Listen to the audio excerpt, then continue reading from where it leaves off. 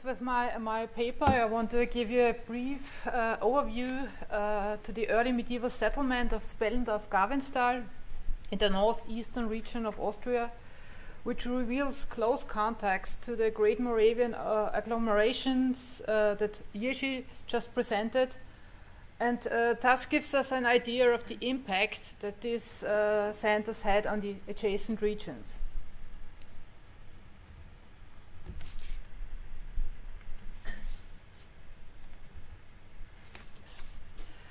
The settlement is situated in the northeastern region uh, of Lower Austria, also called Weinviertel, and was excavated from 2003 to 2006 in the run up to the construction of the motorway A5 leading from Vienna to the southern border of the Czech Republic. In the context of this rescue excavation, an area of 25 hectares was uncovered and revealed about 2,000 um, archeo archaeological features spreading from the early La Tène period to the late Middle Ages. For the early Middle Ages, more than 100 features can be identified or separated, dating from the 7th to the 8th to 10th uh, to the 9th to 10th century, with about uh, 35 pit houses, numerous storage pits, a few ovens in the free area, and a deviant burial. The finding place is currently one of the largest early medieval settlements in Lower Austria. From the historical point of view, we know next to nothing about this region concerning the early Middle Ages, as written sources are almost missing completely. Today's uh, Lower Austria the region between the Enns River in the west and the Leitha River in the east became part of the Carolingian realm at the turn of the year 800, but only the territories along the Danube River uh, were developed, as you can see here, um, uh, whereas peripheral regions were not reached. For the Weinviertel, it is supposed that it stood rather under great Moravian influence that it was part of the Carolingian realm. From the archaeological point of view, the missing of a center in this city, in this region and period is conspicuous.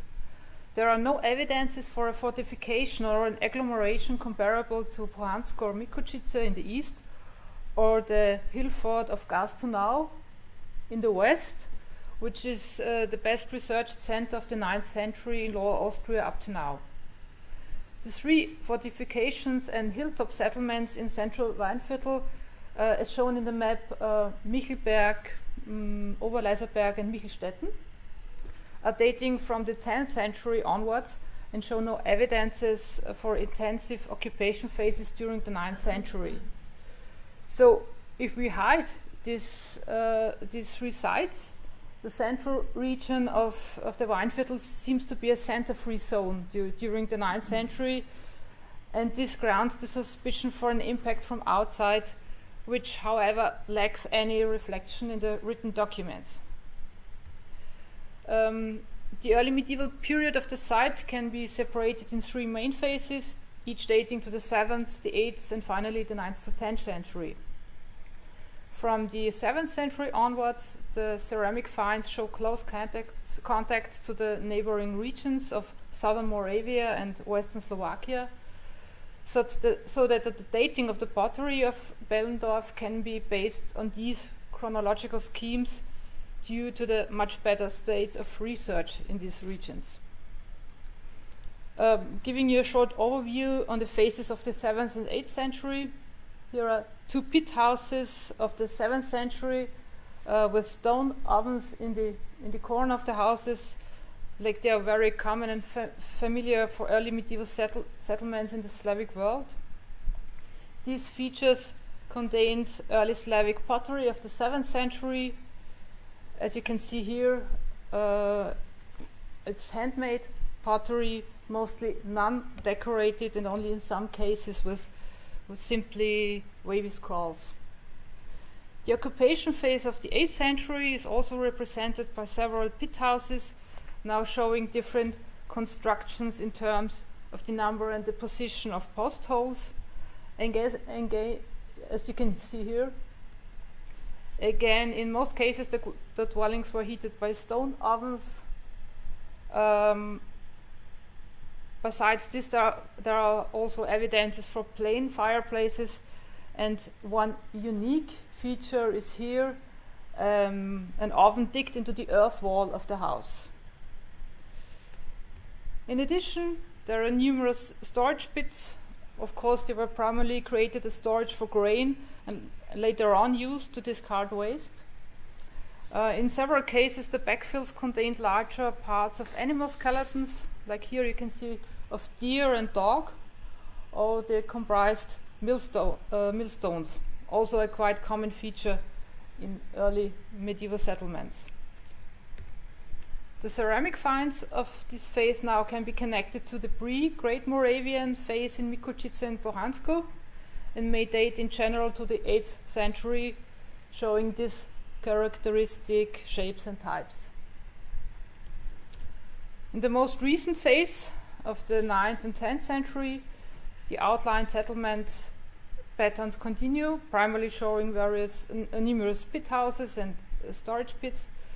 Besides this, uh, two houses come from this period which were destroyed by a fire, and therefore parts of the wooden construction were preserved. Here, the first example uh, with remains of the wood paneling of the wall. I hope you can see this. And of course, several beams and posts and uh, relicts of a stone oven, in this case in the western corner of the house. The second example is the, the highlight of the site due to its good condition conservation.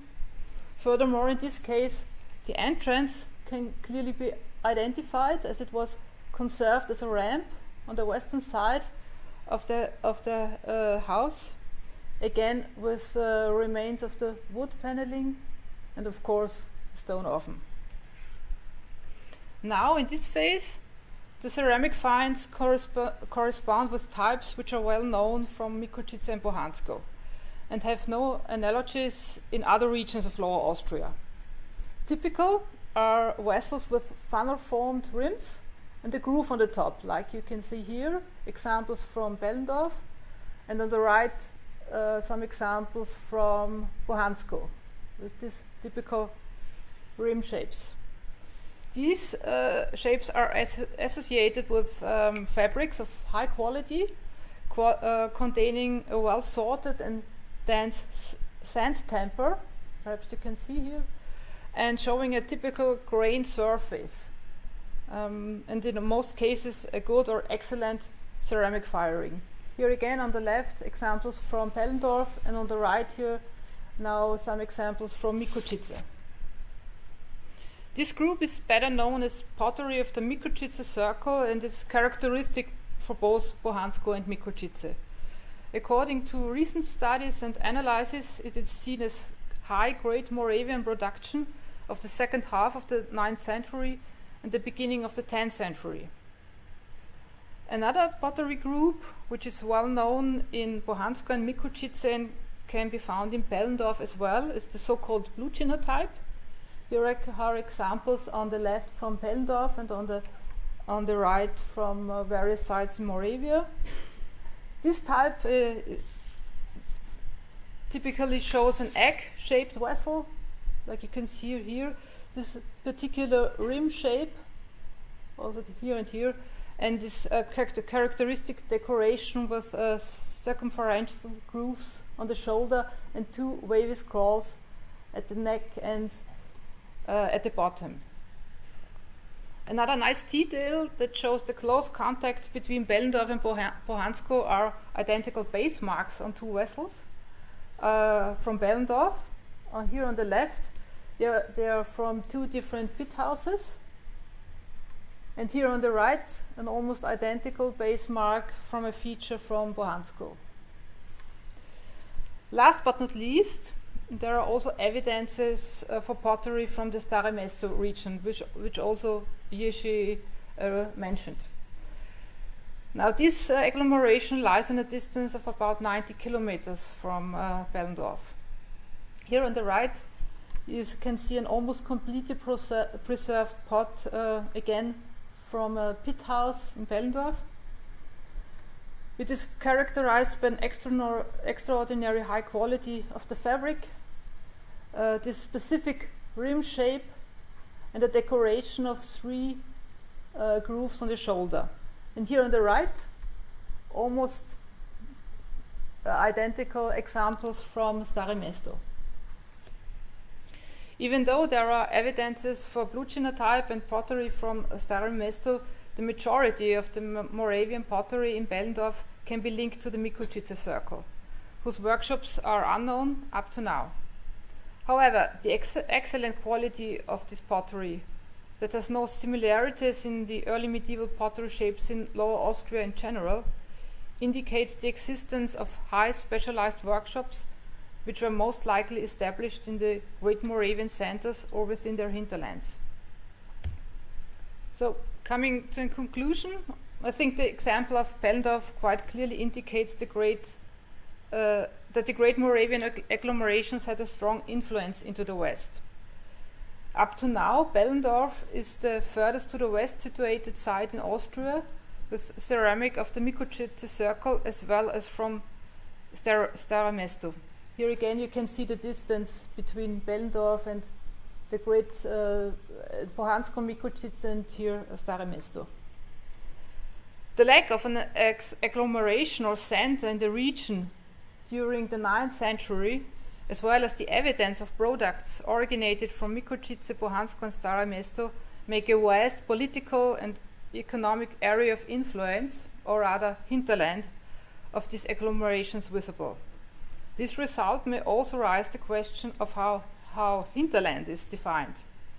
As uh, Peter Dresler, Dresler recently outlined, the hinterland of Pohansko and probably also of Mikulčice must be supposed as a large territory, whereas the Umland is the adjoining area of the centers.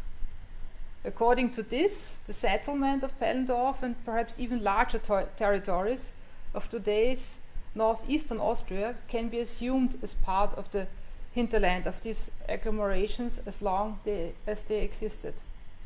Concerning the material culture, these eastern influence rooted in the 7th century at latest and ended not until the midst of the 11th century at the time when finally the Babenberger's dominion reached this region. Thank you for attention.